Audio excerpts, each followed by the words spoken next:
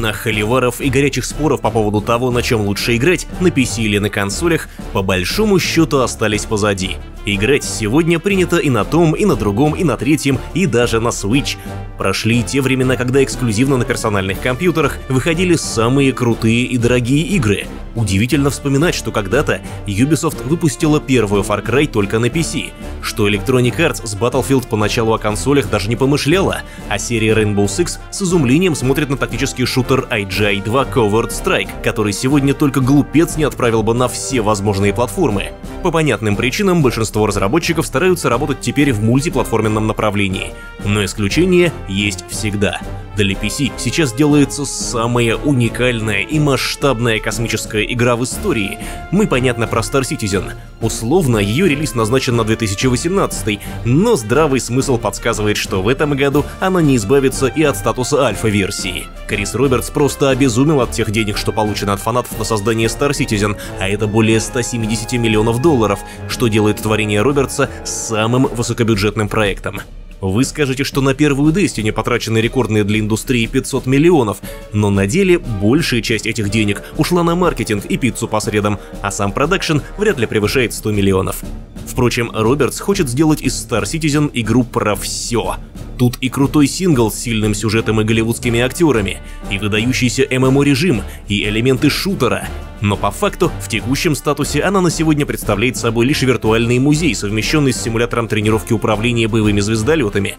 Слишком уж наполеоновские планы у автора Wind Commander и Freelancer, а дорабатывать, править и осуществлять их, кажется, он готов бесконечно. Именно поэтому Star Citizen в десятку самых ожидаемых PC-эксклюзивов 2018 мы не включили. Тут игры осязаемые и реальные.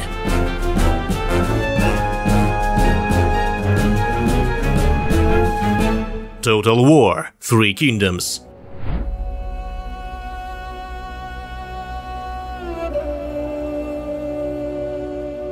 Серия Total War, как и, например, Civilization от кудесников кода и геймдизайна из Fireaxis, одна из главных причин в принципе по-прежнему рассматривать персональные компьютеры именно и исключительно как игровую платформу.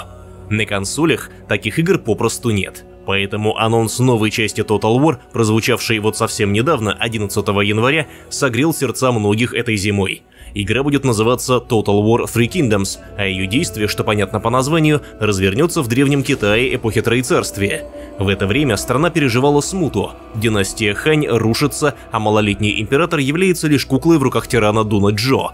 Великая империя погружается в анархию, Вся надежда Китая теперь воплощается в трех героях, военачальниках из великих семейств, которые назвали себя братьями и заключили хрупкий союз, чтобы бросить вызов диктатуре Дуна Джо. Но смогут ли они победить тирана, или и ими овладеет жажда единоличной власти? Будущее Китая в Total War Three Kingdoms теперь зависит от действий героев, а соответственно и нас, игроков. Выйдет игра на PC осенью этого года, причем в полной русской локализации. Кроме того, в этом году нас ждет премьера серии спин под общим названием Total War Saga. Это тоже будут полноценные стратегии, но посвященные каким-то конкретным странам и историческим периодам, то есть чуть менее глобальные и тотальные, но зато позволяющие более детально рассмотреть культурный и исторический фон в тех или иных точках планеты.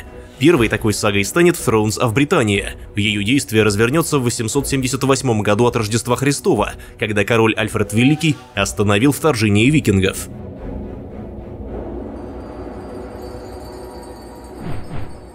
Age of Empires 4 Еще один важнейший PC-эксклюзив, который мы очень ждем в этом году, это, конечно, четвертая часть культовой стратегии в реальном времени Age of Empires. Ее достаточно неожиданно анонсировали минувшим летом на Gamescom. Причем разработкой занимается не абы кто, а Relic Entertainment, студия, не нуждающаяся в представлении, сожравшая на РТС ни одного Хаосита и Эльдара, Правда, до сих пор каких-то особых подробностей об игре так и не раскрыли. Известно, что выйдет она изначально только на Windows 10, объединит несколько эпох, начиная с Древней Греции и заканчивая колонизацией Америки, и позволит поиграть за римских легионеров, британских красных мундиров, индейцев и японских самураев каким непосредственно будет игровой процесс, какие модные тренды будут учтены, появятся ли, не дай бог, встроенные магазины пресловутые лутбоксы, все это пока тайна за семью печатями. Остается верить словам разработчиков, которые буквально заявили следующее. Мы невероятно гордимся тем, что стали частью наследия. Нам не терпится задействовать свои сильные стороны, чтобы объединить исторический контекст с глубоким стратегическим геймплеем и вернуть франшизу на передовую видеоигр, подарив любимым поклонникам новую игру. Phoenix Point –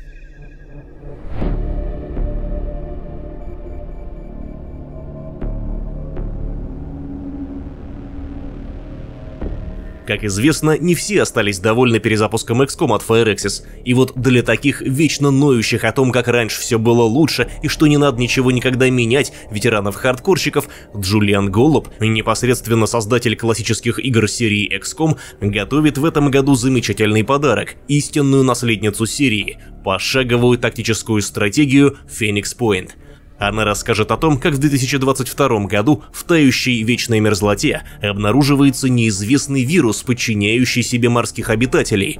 В итоге океан начинает наступление на сушу, и к 2057 году человечество находится на грани вымирания. Выжившие ютятся в изолированных гаванях, которые контролируются разными фракциями со своими идеологиями и своим отношением к вирусу.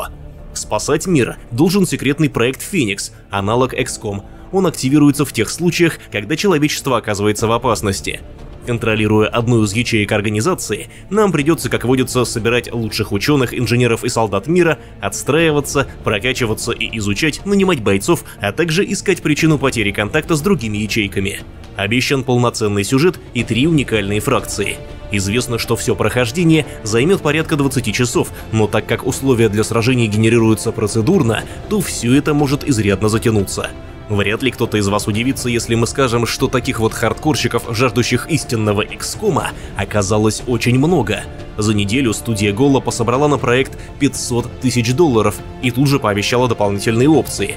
Если денег дадут еще больше, в сражениях появятся управляемые автомобили, а игроки смогут передвигаться на собственной плавучей базе. В итоге было собрано 750 тысяч.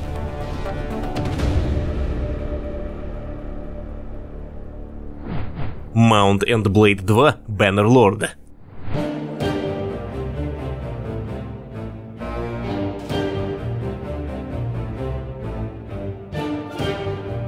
Вторую Mount and Blade анонсировали еще в 2012 году, и мы искренне надеемся, что в 2018 она все-таки выйдет. Во всяком случае, проект точно не заброшен. Новости и дневники разработчиков из турецкой студии Tailwords появляются достаточно часто. Известно, что это будет все та же полюбившаяся многим и по-своему действительно уникальная ролевая песочница с конями, осадами, наемниками и тотальной нелинейностью. Только все это будет, что называется, дополнено, углублено и улучшено. Например, появятся крафт-оружие, настольные игры в тавернах, местные шайки в городах, продвинутый искусственный интеллект и расширенные возможности по объединению в кланы, Кроме того, авторы переработают систему осады замков, дав нам возможность использовать кипящее масло и камни для защиты. Что важно, нам обещают улучшенную дипломатию, построенную в том числе на бартерном принципе. Мы вам невесту, вы нам земли и мир. А также новую систему влияния, которые позволят более гибко влиять на ситуацию. Также будет моделируемая феодальная экономика с быстрой сменой товаров, где все определяется спросом и предложением. Можно будет вкладывать капитал в фермы и лавки или зарабатывать на том, чтобы первым привозить зерно в голодающий после осады город. Плюс полная поддержка модов. События же второй части развернутся за 200 лет до Mountain Blade Warband, в период падения Калерадийской империи, которая тут выступает аналогом римской. Соответственно, независимые королевства, которые появляются в предыдущих играх, здесь только зарождаются. После смерти последнего императора на территории Калерадии сражаются отряды наемников, бандитские шейки и кочевые племена, а мы можем присоединиться к любой из сторон и добиться воссоединения империи под единой властью или, наоборот, окончательно ее раздробить и уничтожить.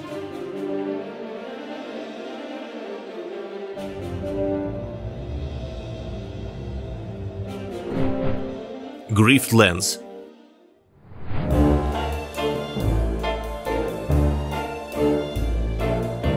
Грифтленс — это тоже большая ролевая песочница с наемниками, но куда менее серьезная и уж тем паче историческая, чем Mountain Blade 2. Тут есть пираты и зеленые инопланетяне, а графика яркая, симпатичная и мультяшная. Разрабатывают игру признанные уже мастера из Clay Entertainment, авторы Don't Starve и еще нескольких инди-хитов — В Грифтлендс они забросят нас в мир, где все может служить предметом сделки. Деньги, уважение и даже мораль. Здесь мы будем предоставлены сами себе, действуя в условиях свободной экономики и самостоятельно выбирая, как сколачивать свое состояние. Мир будет динамично меняться. Большинство персонажей сгенерированы случайно. Локации и группировки всегда одинаковы, но их параметры отношения и представляющие их персонажи также генерируются случайно. В то же время будет небольшое количество персонажей и компаньонов с заранее прописанными историями и квестами, то есть без сюжета и катсцен тоже не обойдется. Сражения, как видно из кадров на ваших экранах, будут пошаговыми, при этом некоторые враги могут сдаться досрочно, признав свое поражение. Если их добить, это отразится на уровне морали и событиях в будущем. Все персонажи запоминают, как вы с ними поступили. В общем, судя по всему, Clay Entertainment готовит очередной локальный хит.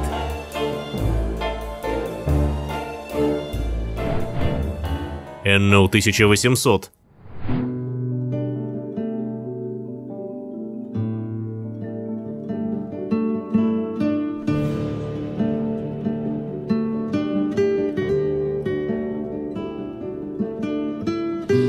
но 1800 – еще одна большая и важная стратегия, которую многие истинные пекари будут ждать в новом году. Ведь это новая часть знаменитой серии градостроительных симуляторов, которая, по обещаниям авторов, будет сочетать в себе наиболее яркие особенности серии. Это и богатые возможности для градостроительства, и проработанная сюжетная кампания, а также сетевой режим и режим песочницы, параметры которого пользователи смогут определять сами. В этот раз действие перенесли в 19 век.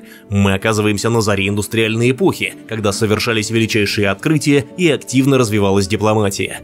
И должны будем проявить все свои управленческие и логистические таланты. Успехи в торговле, военном деле или на дипломатической ниве позволят оставаться на шаг впереди оппонентов. Мир меняется, в нем происходит огромное количество событий, и мы меняемся вместе с ним. Индустриальная революция, протесты за права, политика, войны – все это очень важно для игрового процесса. В целом, игровой процесс серьезно поменяется по сравнению с Anno 2205. Вернутся и полноценные регионы с островами, и корабли, и склады, которые разрешат строить самостоятельно, и одновременная игра в нескольких секторах. Дипломатия, полноценная торговля и возможность лично прокладывать торговые маршруты прилагаются. Из крупных нововведений – забастовки, движение за права рабочих и революции.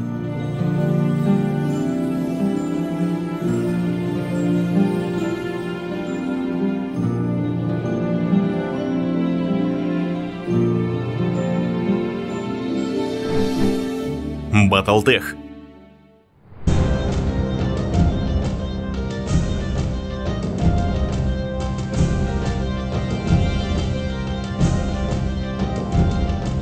Для всех поклонников больших железных роботов в целом и вселенной Battletech в частности, главным событием года, безусловно, должен стать выход одноименной и первой в своем роде пошаговой тактики в этом замечательном сеттинге. Над игрой работает студия Hairbrain Schemes, известная по не менее пошаговой киберпанк-РПГ Shadowrun Returns, а помогает ей звездная команда авторов оригинальной настолки и продюсеров серии MechWarrior — мы примем на себя командование собственным наемником и вступим в борьбу за выживание в кровопролитной гражданской войне, которая разворачивается в эру наследных войн, а именно в 3025 году.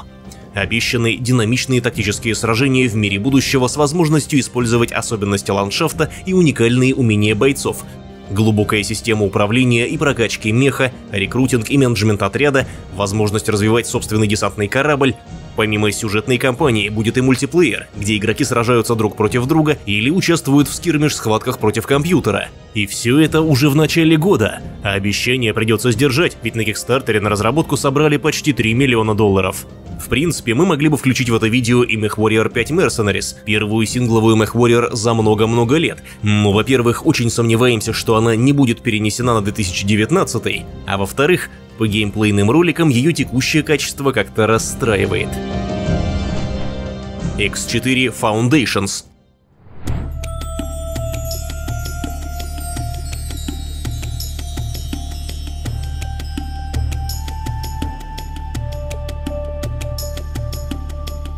Пока Крис Робертс строит игру своей мечты, которая неизвестно когда закончится, не менее культовая для поклонников космосимов студия EgoSoft семимильными шагами идет к новой части серии X.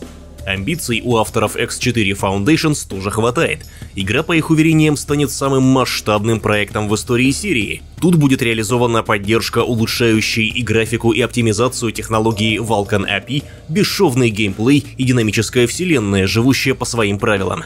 В новой части нам разрешат самим полностью исследовать мир, Дескать, игрок сможет пилотировать все типы представленных кораблей, включая некоторые модели беспилотников, а потом с видом от первого лица высадиться на какой-нибудь станции и пересесть в другой корабль, возможно, когда-то оставленный им самим. Кроме того, в игре появится продвинутая технология телепортации, благодаря которой межзвездные путешествия можно будет совершать без использования космических врат. Строя свою империю, мы будем опираться на подробную карту стратегического управления, а также полагаться на помощь ботов-пилотов. Если что, всегда можно занять место одного из своих пилотов. В этом случае выданное ему задание становится миссией для самого игрока. Самое важное, другие фракции и расы смогут делать все то же самое, свободно расширяя свои империи и управляя ими в соответствии с собственными мотивами и предпочтениями. И это сделает мир игры непредсказуемым. Обещана также более подробная экономика, завязанная на ресурсах. Как всегда, будет строительство станций по модульному принципу, что позволит возводить космические объекты собственного дизайна. Естественно, разрешат модернизировать и корабли. Наконец, на старте нам предложат выбрать одного из нескольких базовых персонажей с собственной предысторией, сильными и слабыми сторонами. Все это тоже вещи весьма амбициозные, но в данном случае разработчики называют осязаемые даты выхода. Известно, что релиз состоится не раньше середины этого года.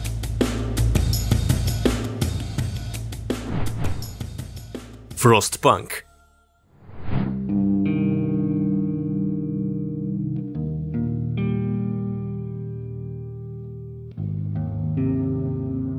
Авторы This War of Mine решили сделать еще одну игру про выживание, но еще более амбициозную и уникальную. Сами они называют Frostpunk первым социальным сарвайвалом. Выживать придется в замерзающем стимпанковском мире, где люди развивают паровые технологии, чтобы хоть как-то бороться с холодом. Игроку нужно управлять городом и делать все для того, чтобы выжить. Естественно, в механике предусмотрены элементы менеджмента и стратегии, но не оптимизация производственных цепей и управление ресурсами будет в игре на первом месте. Основной упор Frostpunk делает на сложные решения, которые мы вынуждены принимать, а игра при этом поднимает глобальные, сложные и почти философские вопросы. Что значит культура, когда мораль оказывается на пути у выживания? В конце концов, выживание может полностью изменить человечество. Будет от этого хуже или лучше, станут люди сильнее или слабее, или, возможно, будет утрачена часть того, что делает их людьми. Ну или более насущная дилемма – разрешить детский труд или нет, лечить больных и раненых или не тратить на них ресурсы – причем некоторые решения нужно будет возводить в ранг закона, по которым будет жить ваше общество. Видимо, отсюда и слова о социальном выживании. Логично было бы предположить, что Frostpunk выйдет как раз этой зимой, но на самом деле точная дата релиза пока неизвестна, где-то в течение года. Как говорится, to be announced.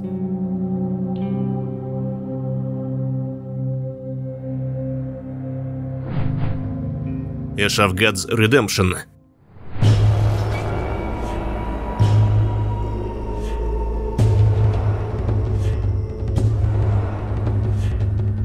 Не хочется этого говорить напрямую, но вы и сами все видите. Ash of Gods Redemption — это такой русский клон The Banner Saga. Почему русский? Потому что игру создает отечественная студия Aurum Dust во главе с Николаем Бондаренко, который до этого 6 лет возглавлял отдел разработки GameNet. Почему клон The Banner Saga? Ну, во-первых, вы сами видите, насколько схож художественный стиль обоих проектов. И хоть авторы говорят, что арт вдохновлен работами Ральфа Бакши, классической диснеевской анимацией и проектами известной советской студии «Союз мультфильм», например, «Снежная королева», мы-то все прекрасно понимаем, откуда ручки растут. Во-вторых, Gods Redemption будет выстроена практически на той же баннерсаговской механике. В мире под названием Терминус игроку предстоит взять на себя управление несколькими группами персонажей, каждую из которых возглавляет один из ключевых протагонистов. Это отставной капитан Королевской гвардии Турн Бринин, странствующий целитель Хоппер Рули и профессиональный наемник Ло Фэнг. Эти герои оказались на пороге событий, грозящих перерасти, понятно, в очередной Рагнарёк, то бишь в конец всей цивилизации. Сюжет будет строиться по принципу визуальной новеллы, развиваясь через череду моральных выборов, где каждое принятое игроком решение существенным образом влияет на дальнейшее развитие событий. Как уверяют авторы, ключевым аспектом является принцип меньшего зла. Нам предстоит постоянно выбирать между сиюминутной выгодой, которая может обернуться неприятными событиями в дальнейшем, и жертвой, которая, напротив, облегчит прохождение одного из следующих эпизодов. А в перерывах, разумеется, найдется место участию в пошаговых сражениях. Мы лично только рады тому, что этой весной у нас появится своя русская Banner сага. Над Gods Redemption работают опытные профессионалы. Текст пишет писатель Сергей Малецкий. Музыку, в числе прочих, сочиняет Адам Скорупа, писавший саундтрек к Ведьмаку. Да и вообще от игры за версту веет качеством. Да и сражения не слепо повторяют механику The Banner Saga. Например, можно будет использовать собственное здоровье для более мощной атаки, а также собирать и тасовать свою колоду заклинаний и приемов. В общем, как говорится, больше баннер-саг хороших и разных. А у нас на этом пока все. Играйте в хорошие игры и до новых встреч на GSTV.